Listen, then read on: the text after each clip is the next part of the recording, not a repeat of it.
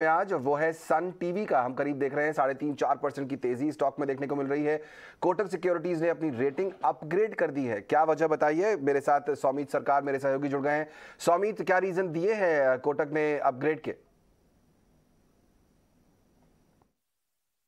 Sun TV में हमें एक डबल अपग्रेड देखने को मिला है कोटक सिक्योरिटीज से की तरफ़ से। अगर उन्होंने, उनका जो रेटिंग है, उन्होंने अपग्रेड कर दिया है। बाय पे पहले का रेटिंग रिड्यूस का था और अगर आप टारगेट प्राइस देखेंगे तो वो 540 पे बढ़ा दिया है और पहले का टारगेट प्राइस 460 का था। तो क्या ट्रिगर्स है कोटक सिक्योरिटीज़ के हिसाब से सबसे पहला ट्रिगर जो है वो है व्यूअरशिप गेन्स अब कोटक सिक्योरिटीज़ ये कह रहे हैं कि पिछले तीन से चार क्वार्टर्स में सन टीवी के चैनल्स में अच्छा व्यूअरशिप गेन्स दिखा है। After five to seven years of losses तो अच्छा खासा व्यूअरशिप गेन्स होने के कारण कोटक ये एक्सपेक्ट कर रहे हैं कि आगे जाके जो एड रेवेन्यू ग्रोथ होगा, वो इंडस्ट्री से इन लाइन रहेगा सन टीवी के लिए। उसके पहले हमें एक बिलो अंडर परफॉर्मेंस दिख रहा था बट ये अभी बेटर होगा सन टीवी के लिए आगे जाके। उसी के साथ जो आई पी एल अर्निंग्स की बात हम कर रहे हैं, अगर आप देखेंगे तो I P L media rights जो सेल वैल्यू था करीब फोर्टी करोड़ का था, जो थ्री टाइम्स है पिछले फाइव ईयर के साइकिल के सामने। तो इसी दम पे कोटक सिक्योरिटीज़ की एस्टिमेशन है कि जो आईपीएल से अर्निंग्स आएगी सन टीवी के लिए, वो करीब 270 टू 300 करोड़ रुपीज़ के आसपास हो सकता है। और ये नियरली थ्री टाइम्स है, जो पहले अर्निंग्स थे, उनके करीब 100 टू 110 करोड़ एनुअल अर्निंग्स जो होते थे, उसके सामने। तो अच्छा खासा आईपीएल अर्निंग्स सेकेंड की ट्रिगर है। और तीसरा ट्रिगर है तो वैल्यूएशन अगर आप देखेंगे सन टीवी के तो वो काफ़ी चीप है। अगर आप पिछले पाँच साल की फॉरवर्ड पी देखते हैं तो वो करीब फिफ्टीन टाइम्स के आसपास था और current twelve year forward P अगर आप देखेंगे तो 9.3 टाइम्स के आसपास है। उसी के साथ वो ये भी कह रहे हैं कि जो कोर टीवी बिज़नेस है सन टीवी का, वो सिर्फ़ थ्री वैल्यूड है F Y twenty two earnings के सामने, जिसमें कोई भी ग्रोथ नहीं था और आगे जाके जबकि ग्रोथ होने की एक्सपेक्टेशंस है तो एक काइंड ऑफ़ री रेटिंग देखने को मिल सकता है सन टीवी में।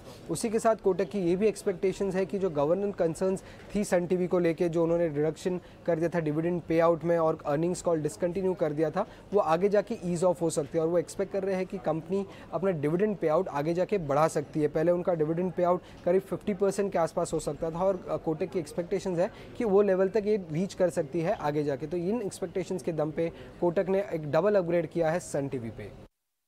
डबल अपग्रेड कोटक की तरफ़ से यहाँ पर 540 तक के टारगेट दिए हैं यहाँ पर। तो ये एक ब्रोकरेज रिपोर्ट आपके सामने, लेकिन कुछ और शेयर भी हैं जहाँ पर नई कुछ और ब्रोकरेजेस ने अपनी रिपोर्ट्स निकाली हैं। उसके बाद हम स्टॉक्स में मूवमेंट देख रहे हैं। अशेषा हमारे साथ अब जुड़ गई हैं।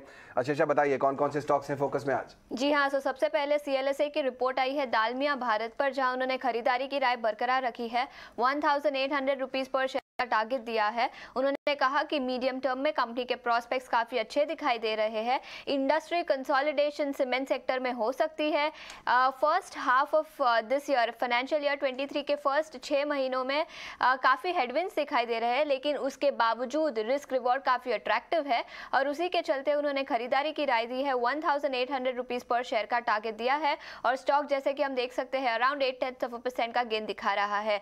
जे स्टील और टाटा स्टील पर भी एक नोट आई थी क्रेडिट स्यूज की, जहाँ उन्होंने अंडर परफॉर्म रेटिंग दिया है जेएसडब्ल्यू स्टील पर और न्यूट्रल रेटिंग दिया है टाटा स्टील पर। याद रखें स्टील प्राइसेस हाल ही में बहुत करेक्ट हो चुके थे। अराउंड 20 परसेंट का हमने डिक्लाइन देखा है पीक से स्टील प्राइसेस में। और क्रेडिट स्यूज का ऐसा मानना है कि स्टील प्राइसेस में प्राइसेस में और भी ज़्यादा करेक्शन देखने को मिल सकता है।